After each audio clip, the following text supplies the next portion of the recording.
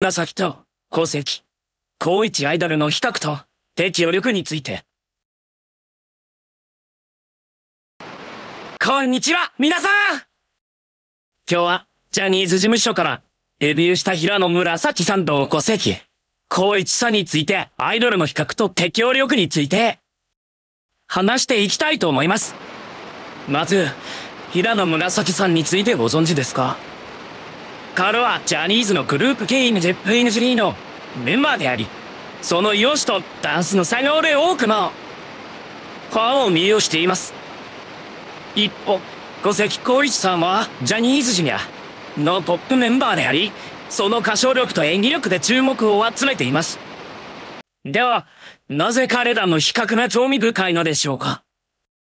それは、彼らの適応力にあります。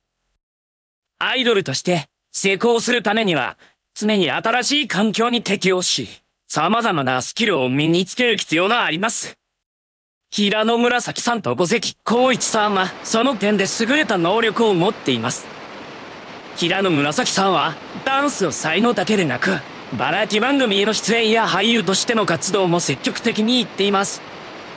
彼は多彩なアーティストとしての一面を持っており、幅広い活動に柔軟に対応しています。一方、モスキ光一さんは、歌唱力と演技力を活かし、舞台やドラマなど様々なメディアで活躍しています。彼は、役柄に合わせて自分自身を変えることができるため、視聴者に強い印象を与えることができます。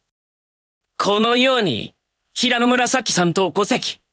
光一さんは、アイドルとしての適応力において優れた能力を持っています。彼らの成功の秘訣は、常に新しいことに挑戦し、自分を成長させ続けることにあります。最後に、皆さんにお聞きしたいことがあります。あなたは、平野紫さんと小関光一さんのどちらが好みですか？それぞれの魅力や実力について、コメントしてください。あなたの意見を聞かせていただけると嬉しいです。それでは、今日の動画はここまでです。次回もお楽しみに。ありがとうございましたもっとザジャンティンと無ざまれどうしていずくえシューナランド会しよっとアイフチパネナイナイフピントソワドゥーリディカス動画をご覧いただきありがとうございます。この動画が気に入っていただけましたら、ぜひ、あなたのコメントもお待ちしています。チャンネル登録もお願いします。